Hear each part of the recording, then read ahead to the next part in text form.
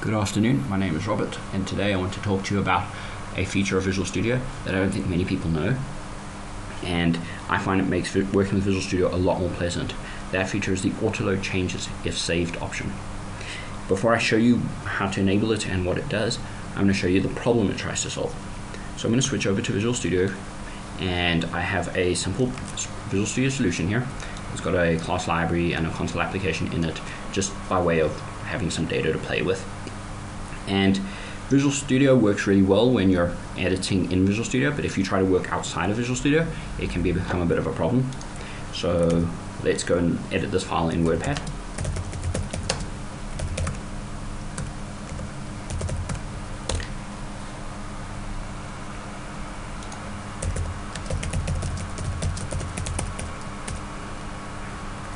And you'll note when I switch back to Visual Studio now, it's going to prompt me to make that to reload the file. And so we can say yes, and the changes come in. Uh, that can be quite annoying if you're using external tools, particularly if you're using something like Blend, which you would often do if you're doing XAML development. It can also be annoying with uh, source control tools like Git. So if we roll back these changes,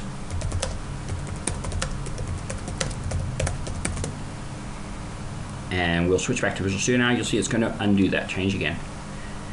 Once again, we get that same prompt.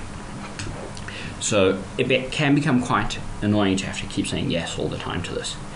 So the solution to this is to enable the auto load changes if saved option.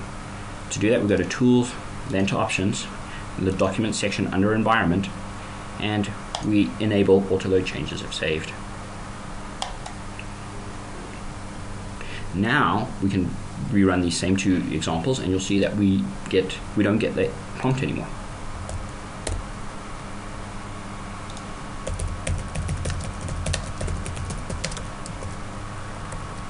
As I switch back to Visual Studio, you'll see it will update without prompting. Very nice.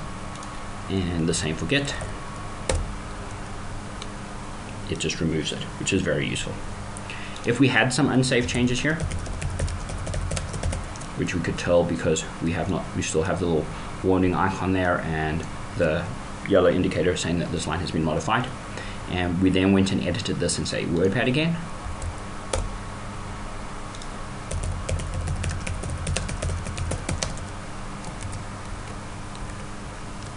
When we come back to Visual Studio, it finds a conflict and says, you have some unsaved changes.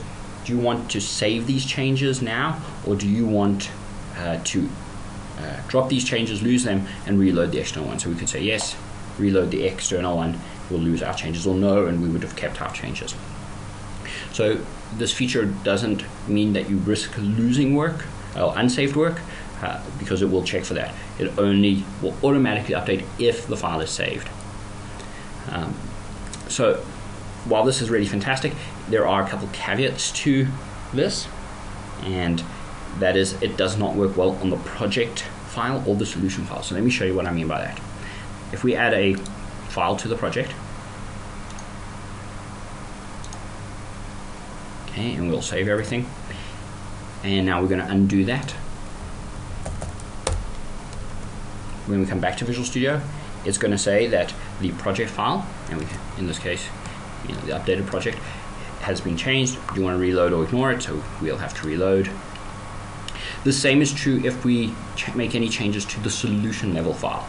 And so I'm going to roll back my uh, code here to an earlier check-in.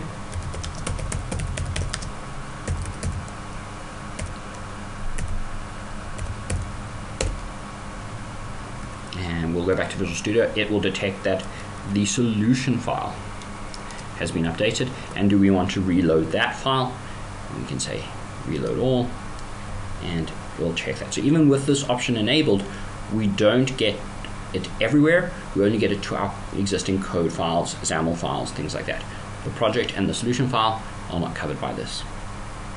That said, I do believe that this feature is very, very valuable, regardless of the fact that it doesn't cover every single object in Visual Studio.